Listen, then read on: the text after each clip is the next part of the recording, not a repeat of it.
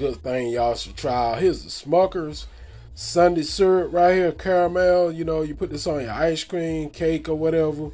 Y'all should give this a try. This stuff is so good. It's on the sweet side though. That's why I don't eat it much. Here now and then.